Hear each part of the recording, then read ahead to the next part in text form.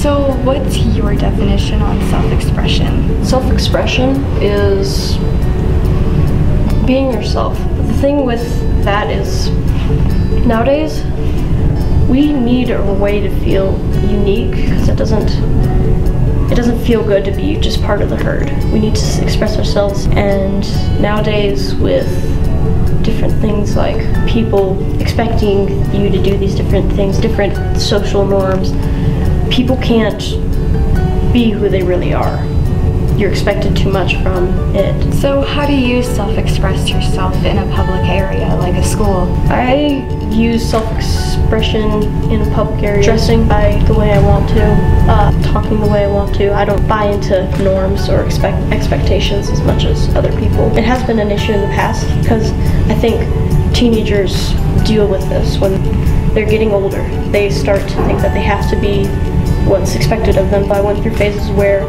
I convinced myself that my favorite color was pink because I wanted to be more girly. I started wearing uh, weird clothing that I thought was uh, popular, but it wasn't. I did that to try and fit in, and I do this almost yearly where I just change my style just to feel normal. And I think a lot of teenagers have problems with feeling comfortable in their area with their friends just because they can't self express the way they want to. Do you think that this gives suicidal thoughts in any way? I think that this gives some issues with depression and suicide because just being them is not being. When you look at people and maybe a year ago they were super fun, a year later they can just be super down, cold, closed in on to themselves and it com comes with a lot of issues, especially with our new generation, hyper focused on being who they really are. And when they can't be that, they don't think that that's a reason to live. What advice do you give to people that follow the social media trends?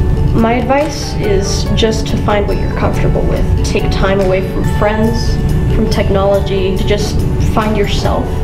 It gives you the time to realize who you really are. I think it's important for people to take these breaks so they can kind of realize who they are really inside without other people being around. Like in psychology, that's one of the main things they talk about is how group thought works, how it affects you, changes you, how it can completely mold your personality and your interests and everything just so you can be cool and loved.